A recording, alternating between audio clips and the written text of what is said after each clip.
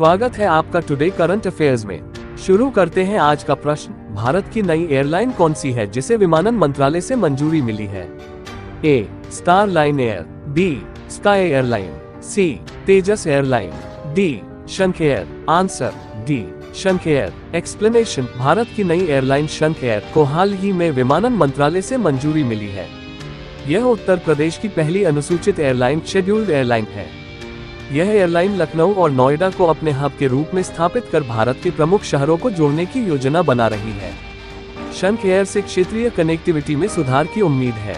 अगला प्रश्न, भारत ने हाल ही में किस देश में दो नए वाणिज्य दूतावास खोलने की घोषणा की है?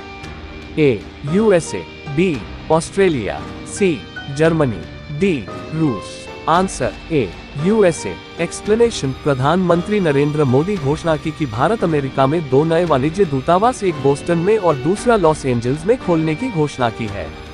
इन शहरों में भारतीय अमेरिकी समुदाय की जनसंख्या वृद्धि को ध्यान में रखते हुए ये फैसला लिया गया है। अगला प्रश्न, नगर वन योजना किस मंत्रालय द्वारा शुरू की गई है? ए, पर्यावरण, वन एवं जलवायु परिवर्तन मंत्रालय। बी, आवास और शहरी मामलों का मंत्रालय। सी ग्रामीण विकास मंत्रालय, डी, कपड़ा मंत्रालय, आंसर, ए, पर्यावरण, वन एवं जलवायु परिवर्तन मंत्रालय।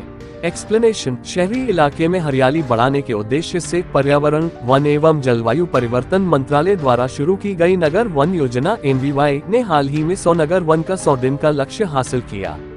योजना में नागरिकों की भागीदारी से शहरी इलाके में वनों को बढ़ावा देने के लिए प्रति हेक्टेयर चार लाख रुपए की पेशकश की गई।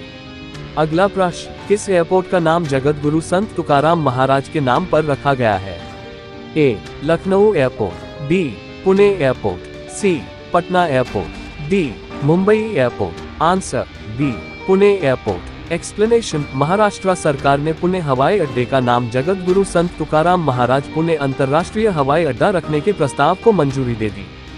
संत तुकाराम महाराज सत्रहवीं सदी के मराठी कवि और हिंदू संत थे, जिन्हें महाराष्ट्र में तुका, तुकोबारिया, तुकोबा के नाम से जाना जाता है।